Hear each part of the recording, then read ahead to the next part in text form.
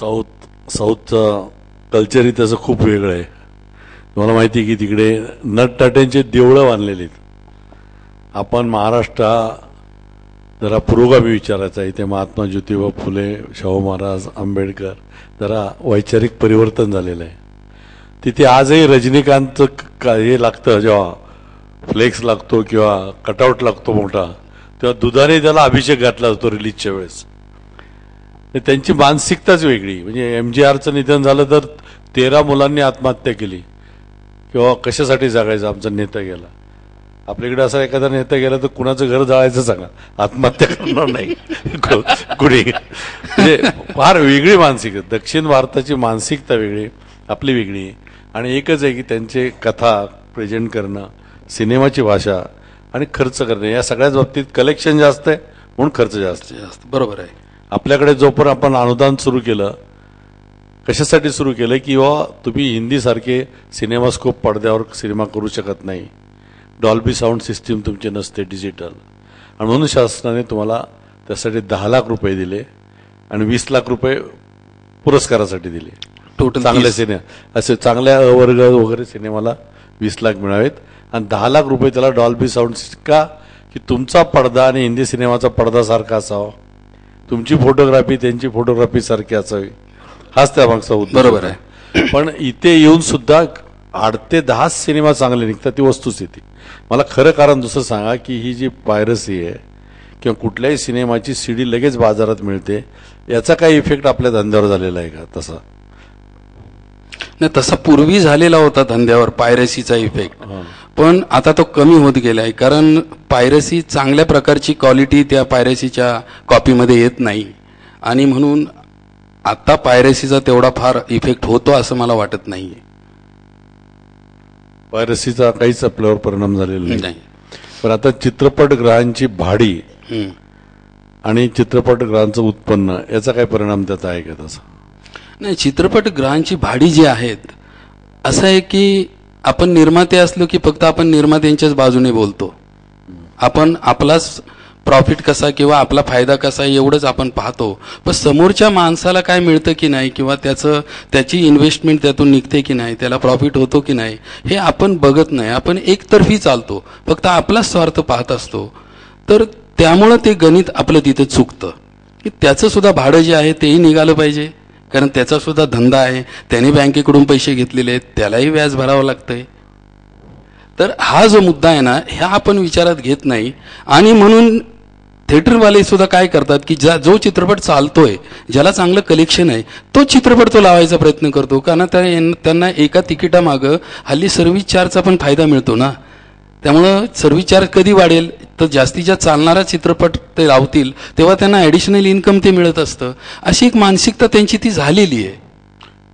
ठीक आहे आता हा व्यवसाय आपण किती बोललं तरी एक तर आपण जास्त बोललो तर आपल्याच घरावर दगड मारण्याचं ते होईल. खरं बोललो तर म्हणजे कारण या व्यवसायाबद्दल किती बोललो आणि परिस्थिती जी तीस वर्षापूर्वीची होती तीच आज आहे. आज थिएटरचं उत्पन्न सरासरी साठ टक्के आलेलं आहे.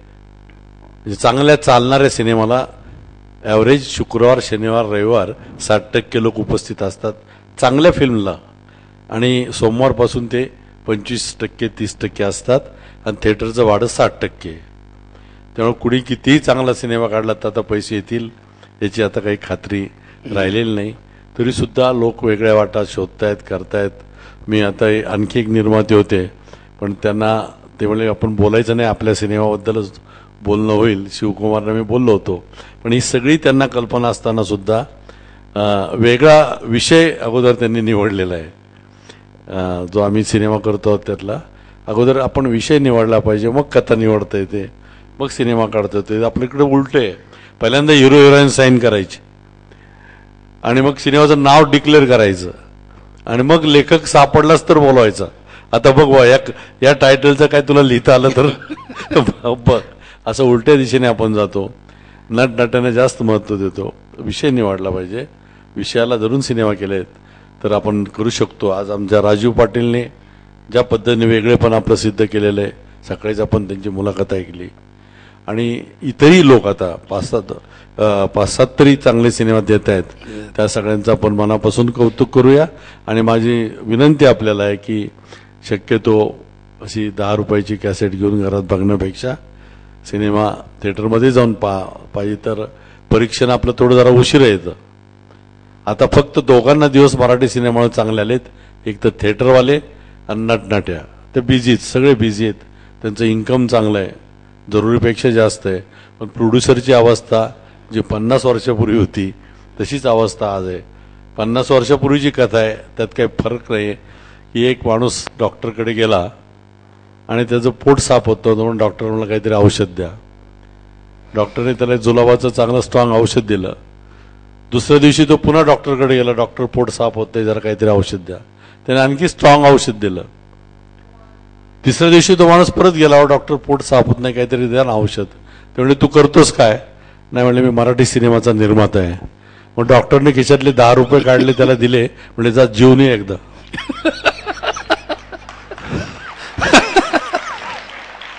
म्हणजे अशी चित्रविचित्र अवस्थेत आपण सापडलेला आहे पण एकेकाळी जोपर्यंत लेखक पाठीशी होते शिवरामपंत वाशीकरपासून गदी पर्यंत तोपर्यंत मराठी सिनेमा कसदार होत होता.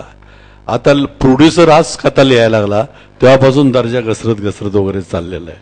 त्या ज्याने स्वतःच्या बायकोला चार ओळीचं पत्र लिहिलं नाही त्या सिनेमाच्या पडद्यावर कथालेखक असं नाव त्याचं बघताना आपल्यालाही हसू येतं बऱ्याच वेळा त्या ठिकाणी. बरोबर आहे. तेव्हा ही थोडी मानसिकताही बदलली पाहिजे. काही असो कोणके कुटुंबाचा एक फार महत्त्वाचा वाटा या मराठी चित्रपटात आहे. दादा कोंडकेंचे आशीर्वाद तुमच्या पाठीशी आहेत. तुमच्या पुढच्या आगामी सिनेमाला मी सर्वांच्या तर्फे शुभेच्छा व्यक्त करतो. आणि त्यांना बोलवा. हा कार्यक्रम मुलाखतीचा इथेच संपला असं मी जाहीर करतो. आता आपल्याकडे वेळ फार कमी असल्यामुळे पाच वाजेपर्यंत अनेक गोष्टी आपल्याला करायच्यात. जरा विजय कोंडके यांना टाळ्यांच्या गजरात आपण पुढच्या सिनेमाला शुभेच्छा देतो. थँक्यू मीरा ओमपना बोलना तयार तयारी ठेवा.